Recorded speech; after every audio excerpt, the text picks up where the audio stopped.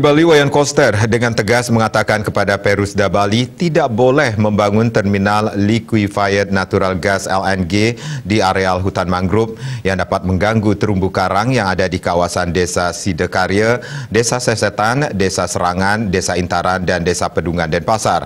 Ketegasan orang nomor satu di pemerintah Provinsi Bali ini mendapat apresiasi dari kalangan DPRD Provinsi Bali.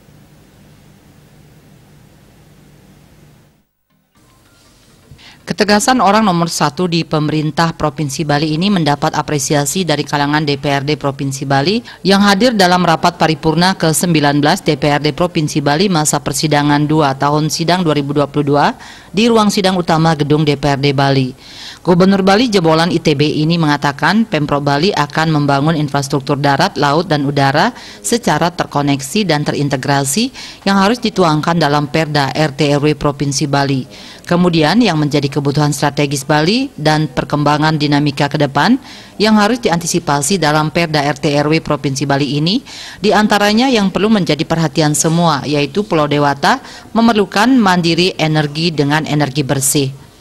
Terkait dengan itu, Gubernur Koster telah mengeluarkan peraturan Gubernur Bali nomor 45 tahun 2019 tentang Bali Energi Bersih. Bali saat ini memiliki ketersediaan energi sekitar 1153 MW, sedangkan kebutuhan Bali saat masa normal atau sebelum pandemi mencapai 940 MW dan 30 persennya harus dipenuhi dengan cara lain. Tetapi dari 1153 MW itu, lebih dari 300 MW disalurkan dari Python Jawa Timur melalui kabel bawah laut. Dengan visi Nangun Satkerti Loka Bali, pihaknya berharap ke depan Pulau Dewata bisa mandiri energi dari energi bersih.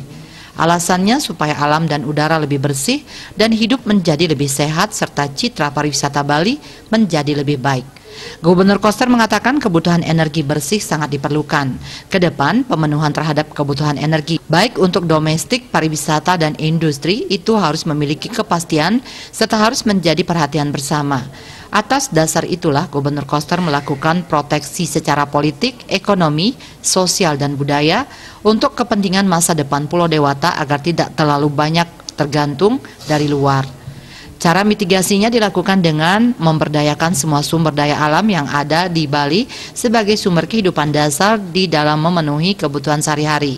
Salah satu contohnya dapat dilakukan dengan memanfaatkan produk-produk lokal, bukan memanfaatkan produk impor. Bali membutuhkan terminal LNG dengan pilihan di mana akan dibangun supaya efisien.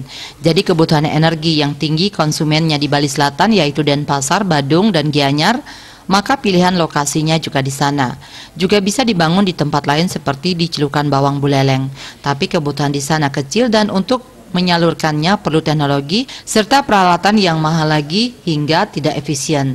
Untuk mewujudkannya, Gubernur Koster menegaskan kepada Prusda Bali tidak boleh membangun terminal LNG di areal hutan mangrove dan konsepnya bukan terminal LNG mandiri, tetapi dibangun dengan konsep kawasan yang terintegrasi serta berkaitan dengan desa yang ada di kawasan itu.